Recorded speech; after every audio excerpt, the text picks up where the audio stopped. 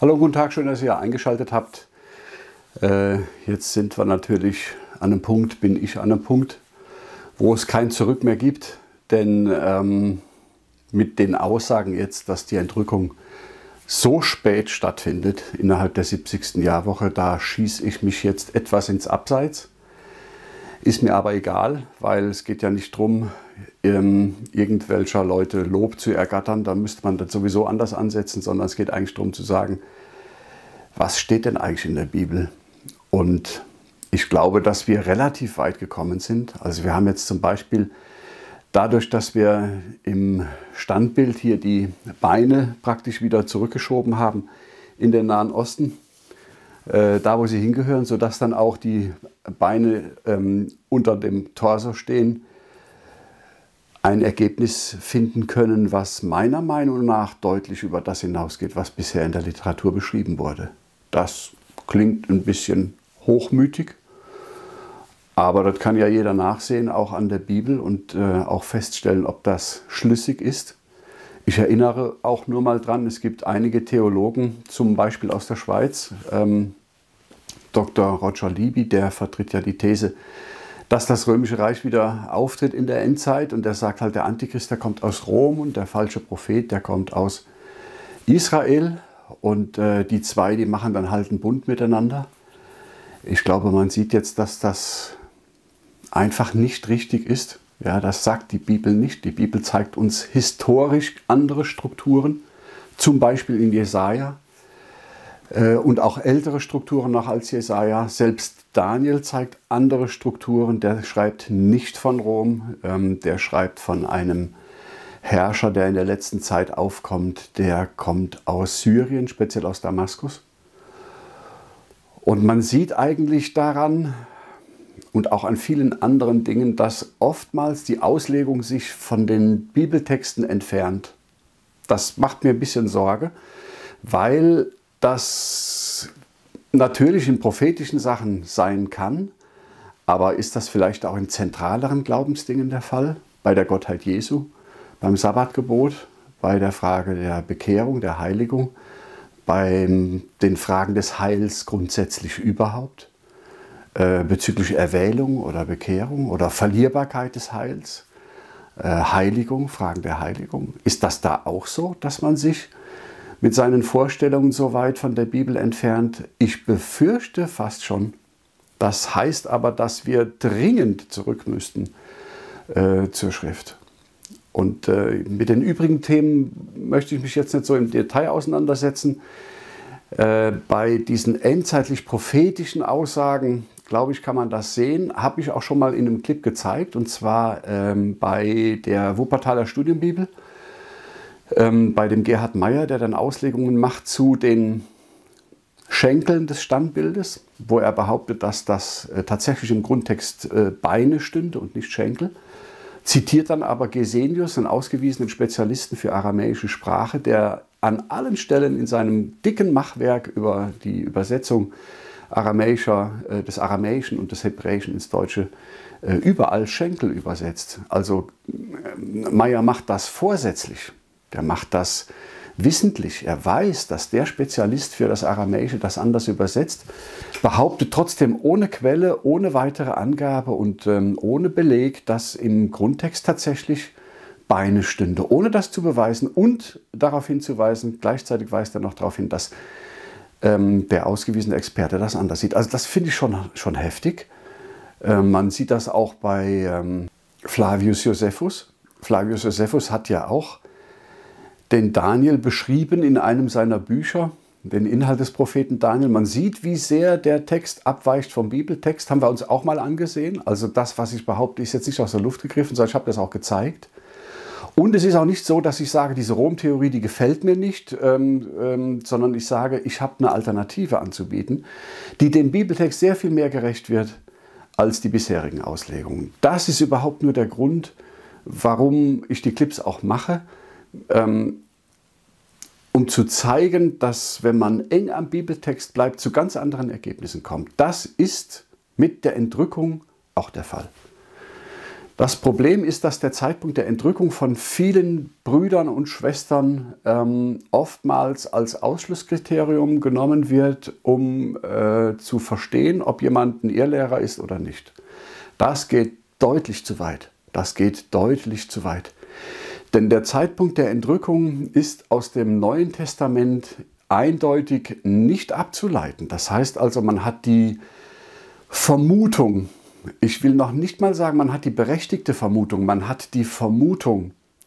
Und man wünscht sich das auch sehr, dass die Entrückung vor dieser 70. Jahrwoche sein möge. Aber wirkliche Belegstellen aus der Bibel hat man nicht. Und wenn man die Gründe anschaut, ähm, die, die aufgerufen werden, dann ist das zu wenig. Und mit Verlaub, das, was ich jetzt hier abgeliefert habe, ist, glaube ich, deutlich mehr. Kann sich auch jeder aussuchen, welcher Lehre er dann da folgen will. Paulus sagt ja auch, äh, da sei sich jeder auch gewiss in dem, was er erkennt. Nur das, was er verstanden hat, da soll er auch dann leben nach.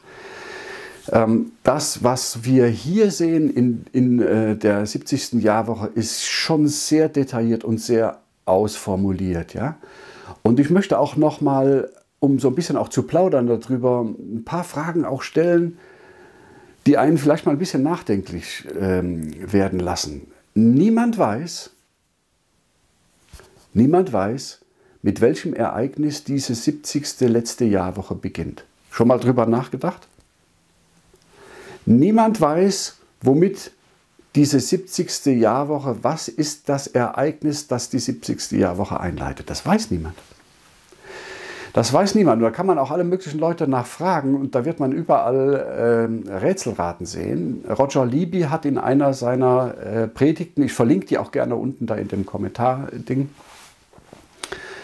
äh, der hat gesagt, die 70. Jahrwoche beginnt mit dem Zeitpunkt der Entrückung plus x Tage. Weil er sagt, okay, die Entrückung muss halt vor der Drangsal sein, was ich nicht sage. Ähm, aber das ist halt seine Sichtweise. Er weiß aber nicht, mit welchem Ereignis die 70. Jahrwoche beginnt. Das ist schon, das ist schon ein Thema, wo ich sage, Moment mal, wenn man so grundlegende Dinge von einer gewissen Sache nicht weiß, weiß man denn die anderen dann auch? Sind die denn dann auch belastbar? Und ähm, ich glaube, dass vielfach diese Auslegungen nicht glaubwürdig sind, nicht am Text sauber belegt werden. Und das spürt man auch, wenn man die hört dass viele dieser Aussagen, zum Beispiel über den Zeitpunkt der Entrückung, zum Antichrist, zum falschen Prophet, zum dritten Tempel, dass das überhaupt keine Entsprechung in der Bibel hat. Das macht die Sache aber unbefriedigend. Und ähm, was ich auch sehe, ist oft, dass, dass man diesen Zeitpunkt äh, der Entrückung dann vermutet für, für, vor der Drangsal, aber nicht sagen kann, was die Drangsal, was ist das denn für eine Drangsal? Was ist das für eine Trübsalzeit? Wer macht denn da Trübsal wem? Und wo findet das statt? Ist es weltweit? Ist es nur in Israel? Macht der Antichrist Trübsal dem Volk Gottes, also jetzt Israel, oder macht der Antichrist Trübsal den Christen? Was ist denn da überhaupt Trübsal? Und da muss ich ehrlich sagen, also ähm, da habe ich im Detail noch gar nichts von gehört. Das heißt, das ist eine ganz schwierige Zeit. Äh, in der letzten Zeit, in der 70. Jahre, ist in Israel, aber auch weltweit. Sag ich, ja, aber Details und vor allem Schriftstellen, Schriftbelege, habe ich da keine für gefunden. Eine andere Frage ist natürlich die, wer hält das Kommen des Antichristen auf? Paulus sagt ja, der, der es aufhält, muss zuerst hinweggetan werden. Wer ist das? Ja, sagen viele, das ist der Heilige Geist. Und, äh, oder die Gemeinde. Und die Gemeinde muss erst entrückt werden und dann kommt der Antichrist. Warum sagen sie das? Weil sie an die Vorentrückung glauben. Deswegen muss die Bedeutung dort auch so sein. Das heißt, da ist der Wunschvater des Gedanken. Das Problem ist, dass hier von der Gemeinde gar nichts steht, denn da ist ein Maskulin, der, der wegtut. Nicht die Gemeinde hält auf, also der, der aufhält, sagt Paulus. Der, der aufhält, muss erst weggetan werden. Da steht nicht, die, die aufhält, muss erst entrückt werden. Das steht da nicht. Man muss genau hinhören. Paulus sagt nicht, die, die aufhält, muss entrückt werden, in Klammern die Gemeinde. Und dann kommt der Antichrist. Das steht da nicht. Da steht, der, der aufhält, muss erst zur Seite geschoben, weggeschoben werden, wie etwas, was stört, was aus dem Weg geräumt wird. Also nicht etwas, was hinauf, Episynagoge hinauf versammelt würde. Ja? Epi für hinauf und Synagoge für Versammlung. Ähm, das ist der Begriff, den Paulus eigentlich verwendet, wenn er von der Gemeinde und ihrer Versammlung zu Christus spricht. Er spricht von Episynagoge, er spricht eben nicht davon, ich weiß nicht, wie das Wort heißt, ähm, ähm, ich komme da nicht drauf. Er spricht nicht davon, dass etwas beiseite geschoben wird, aus der Mitte getan wird. Bei diesem jemanden, der aber den Antichristen aufhält und der aus der Mitte getan wird, da benutzt Paulus dieses andere griechische Wort und da steht halt nicht Episynagoge. Meiner Meinung nach ist das der siebte König, der aufhält, dass der achte kommt, denn der achte ist von den sieben, nämlich von den sieben Seleukitenkönigen und fährt in die Verdammnis. Ähm, Johannes sagt, fünf dieser Könige sind schon gewesen, einer ist, das ist der sechste, der siebte ist noch nicht gekommen, wenn er kommt, muss er nur kurze Zeit bleiben. Und dann kommt der achte. Und der ist von den sieben und fährt in die Verdammnis. Und ich glaube fest, dass Paulus das meint. Und nichts anderes. Und nochmal, man hilft sich über so eine Zwischenkonstruktion, muss man genau hinhören.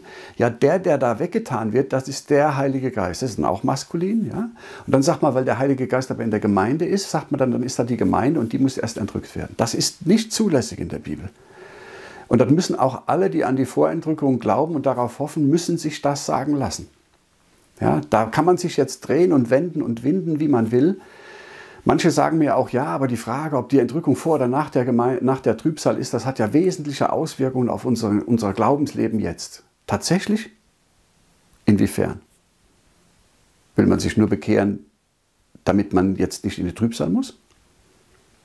Inwiefern hat das Auswirkungen auf mein Glaubensleben? Meiner Meinung nach hat das überhaupt gar keine Auswirkungen auf mein, mein Glaubensleben. Gar keine. Denn wenn ich Kind Gottes bin, dann folge ich Gott gerne nach. Da freue ich mich doch, dass ich bei ihm bin. Egal was passiert. Es geht ja nicht darum, seine Haut zu retten, oder? Es geht ja darum, die Wahrheit zu erkennen in Christus Jesus. Egal was uns das kostet, oder? War das nicht so? Würden das Christen in China unterschreiben? Ich denke schon. In Nordkorea? Ja, glaube ich auch. In Nigeria? In den äh, islamischen Ländern? Unbedingt. Nur wir nicht, ne? Wir wollen vor allem noch schnell entrückt werden. Wir wollen Stern, auf den ich schaue, ja, Mercedes auf der Mercedes Stern auf der Motorhaube mit Stern, auf den ich schaue, wollen wir gerne in den Himmel entrückt werden. Ja? Und äh, wir westlichen Christen, wir wollen in gar keiner Weise auch nur irgendwie beunruhigt werden.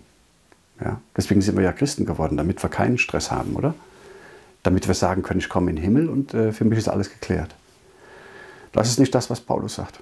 Paulus sagt zu den Thessalonicher, wenn ihr Christen werdet, dann habt ihr eine Menge Probleme. Als Spurgeon zum Glauben gekommen ist, Spurgeon war ein englischer Prediger, sehr bekannter Mann, sehr begabter Mann auch, als der angefangen hat, die Bibel zu lesen, hat er gesagt, oh, das gibt Ärger. Ich glaube, wir müssen uns bekehren, wir Christen, wir westeuropäischen Christen. Und zwar egal, in welcher Denomination wir sind, in, in welcher Landeskirche oder in welcher Freikirche, spielt überhaupt keine Rolle. Wir müssen mal neu überlegen, was wir überhaupt wollen. Wofür stehen wir überhaupt? Was wollen wir überhaupt? Wer sind wir überhaupt? Was machen wir hier? Wofür nutzen wir unsere Zeit? Was glauben wir? Das wäre halt wichtig. Und das kann man an vielen Stellen sehen, da könnte man auch noch, noch viel sagen zu, äh, auch an anderer Stelle. Was ich zeigen wollte, ist nur, dass viele Auslegungen, die landläufig sehr verbreitet sind und die allgemein als, als gültig angesehen werden, relativ schnell zu hinterfragen sind, keinerlei Bezug haben in Gottes Wort, zu falschen Ergebnissen führen und nachweislich einfach auch falsch sind. Ja? Und, und das spüren auch ganz viele Leute. Ähm, ich habe es nicht dabei belassen wollen, sondern ich erlaube mir einfach ein anderes Modell zu zeigen. Und zwar zu zeigen, dass es eine alexandrinisch, diadochisch, seleukidisch, syrische Linie ist, die die Bibel zeigt, speziell vom Standbild. Und ich habe mir gezeigt, dass äh, Jesus in Johannes 3 mit Nikodemus sehr, sehr viel mehr meint, als wir das gemeinhin in unserem Sonntagsschulwissen vermuten sondern dass die Worte Jesus sehr, sehr viel tiefer gehen und dass man die Wiedergeburt im Alten Testament finden kann in Verbindung mit Jerusalem. Diese beiden Stränge, das heißt die Wiedergeburt Jerusalems, die Kenntnis davon und die Kenntnis von einer anderen Art und einem anderen Verständnis des Standbildes, diese beiden Dinge, die führen uns in komplett neue endzeitliche Zusammenhänge. Ich war selber absolut überrascht darüber. Ich habe äh, mich total erstaunt, aber je länger ich das unterstelle, Ja, jetzt war ich gerade kurz unterbrochen, weil die Batterie von meinem Fotoapparat war zu Ende. Je länger ich diese, diese These, ähm, die ich hier aufgestellt habe, für mich selber adaptiere und übernehme, desto mehr Bibelstellen werden plötzlich für mich klar. Ähm, der ganze Jesaja-Brief, der, der taucht plötzlich auf, der bekommt Struktur, der bekommt Inhalt der wird verständlich. Joel wird verständlich, warum Joel zum Beispiel immer unterscheidet auf der einen Seite zwischen den ähm, Kindern Zion und den Kindern Judas und auf der anderen Seite den Kindern Israel. Klar, weil Israel in der letzten Zeit auseinanderbricht. Ähm, es wird verständlich, warum äh, Joel mehrfach äh, davon schreibt, dass Sonne, Mond und Sterne verfinstert werden, und zwar dreimal. Einmal davon wird aber Sonne, Mond und Stern, Sterne zu Blut. Ähm, das kann man plötzlich dann einordnen. Es geht überhaupt nicht um Blutmonde, ähm, wie man immer so hört in der Presse, sondern es geht um diesen biblischen Zusammenhang, diese biblische Verbindung zu Joel. Und das sind für mich natürlich alles Dinge, die meine These für mich und ich hoffe auch für die, die zuhören, auch plausibilisieren und zuverlässig machen. Also dass man die auch ähm, glauben kann und verstehen kann, weil die ihren Niederschlag in der Bibel findet. Das ist eigentlich so der Grund, äh, warum ich diese, diese ganzen kleinen Filmchen dann auch mache. Ich werde das auch nochmal in ein Buch zusammenfassen. Ähm, bevor das jetzt aber ähm, fertig wird, möchte ich gerne die Clips noch beenden. Und zwar haben wir ja jetzt in äh, der letzten Folge uns angeschaut, wie dieser Ablauf in der Endzeit ist. Allerdings sind da so ein paar Aussagen auch gemacht worden, zum Beispiel wegen dieser verschiedenen Tage, 1290 Tage, 1300 Tage, 1335 Tage, äh, fünf Monate äh, etc., die ich noch begründen muss und belegen muss. Will ich auch gerne tun, machen wir jetzt in der folgenden äh, Reihe. Und da steigen wir dann wieder ein bisschen tiefer ein, nachdem wir so ein bisschen den Überblick haben. Wenn wir dann irgendwann am Ende sind, das wird so in zwei, drei Folgen, schätze ich, dann auch sein, dann ist die ganze Sache dann auch abgeschlossen, dann steht das grobe Raster. Mit dem Werkzeug kann man an viele, viele andere Bibelstellen dann auch rangehen. Gideon zum Beispiel im Alten Testament und so weiter und so fort. Kann man dann äh, gut verstehen. Und eigentlich müsste man das dann alles nochmal Revue passieren lassen, nachdem man weiß, wo man dann am Ende ausgekommen ist. Dann bekommen vielleicht auch die Folgen aus der Vergangenheit wieder äh, mehr Inhalt und man versteht vielleicht die eine oder andere These oder Aussage dann nochmal besser. Ähm, das mal so als groben Rahmen. Wir steigen jetzt mal gleich ein in die kommende Folge und schauen uns mal an, ähm, wie wir die Aussagen, die, wir jetzt, die ich jetzt gemacht habe, wie ich die begründe an der Bibel. Bis dahin alles Gute, Gottes Segen, erfolgreichen Tag und bis bald.